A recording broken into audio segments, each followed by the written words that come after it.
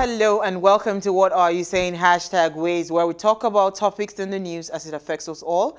I am Osayuwamen Saleh and today Isi and I are taking the conversation. Isi, how are you doing today? Very well, thank how you. How have you been? I've been well, um, trying to get by through this uh, COVID madness. Ah, and you? Well, so-so. I think everybody's getting used to the fact that we're all on lockdown and... Um, and have you been coping with the security agency?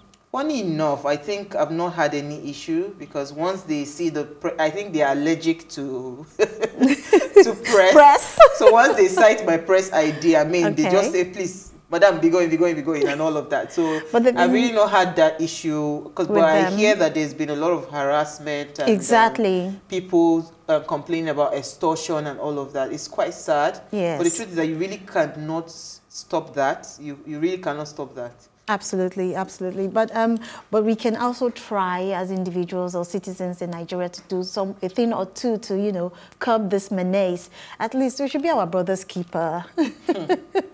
Don't tell that to a policeman.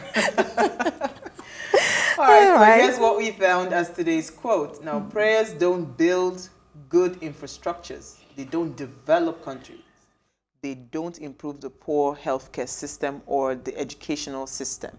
Now, God has placed man in charge of all. That's from Oyekunle Bamigboye.